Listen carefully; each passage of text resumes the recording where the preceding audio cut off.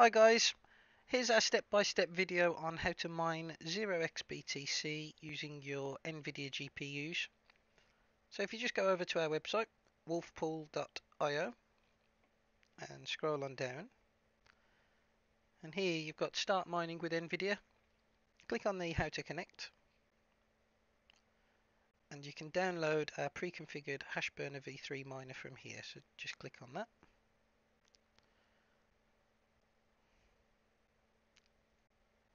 Show that in the folder.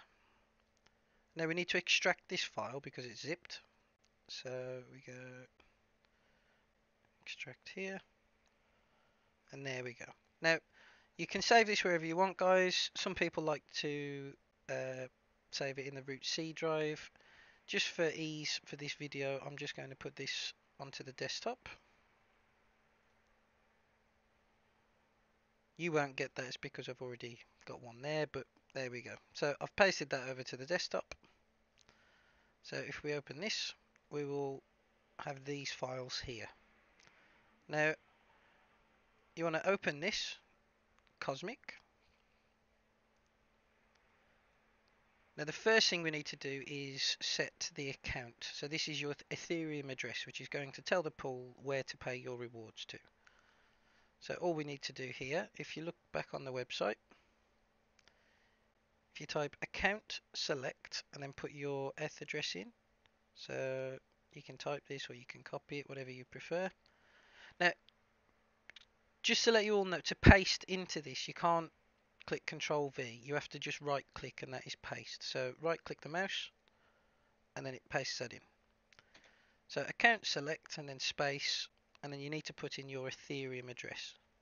So I've got my Ethereum address here, copy.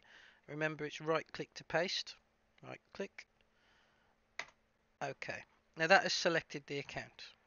Now we need to tell it what pool to connect to. So if we go back to the website, you can see here you've got pool select and then the details for the pool. So if we copy all of this text,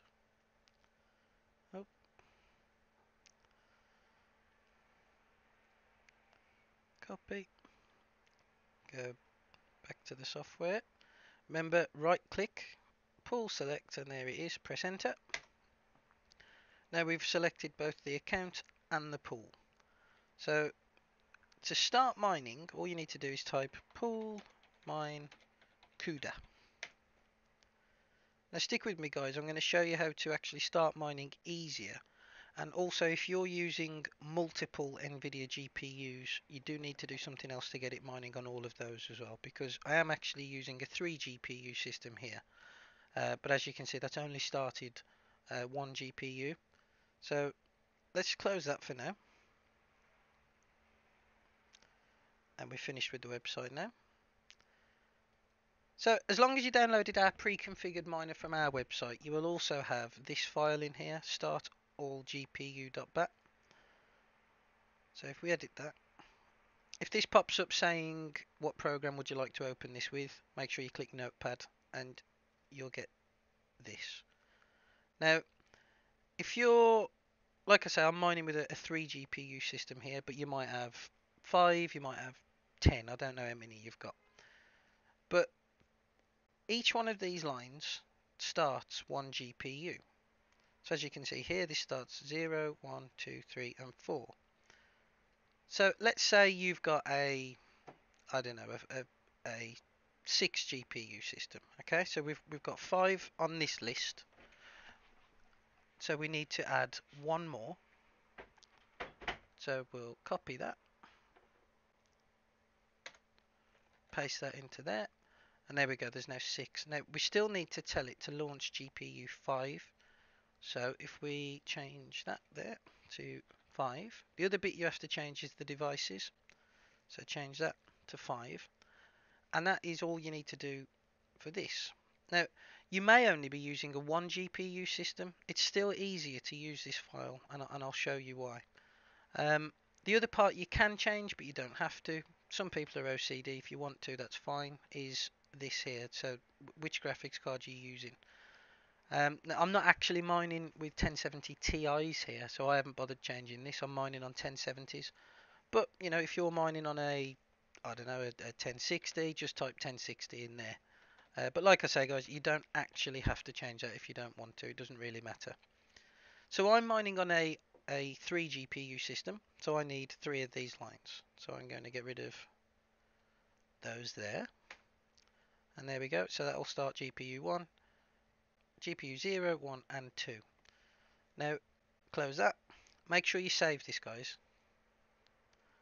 And then all you do is click start all GPU.